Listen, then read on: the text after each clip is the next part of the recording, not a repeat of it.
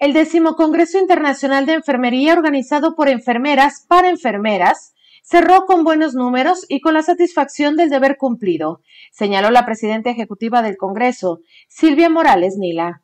Tuvo una mayor aceptación por los profesionales de la salud. Tuvimos 1.348 asistentes provenientes de instituciones tanto privadas como públicas.